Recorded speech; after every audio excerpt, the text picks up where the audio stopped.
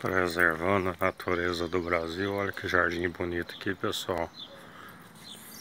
Cheio de mudas de pés de cica revoluta.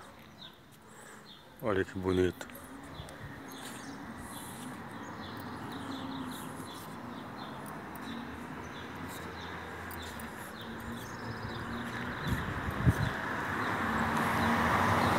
Toda cica revoluta.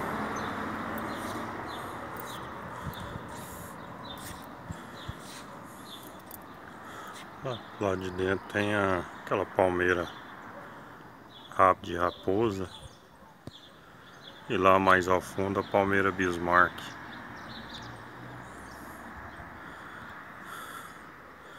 Se você quiser se inscrever no canal ou deixar um like para nos ajudar, estarei sempre postando essas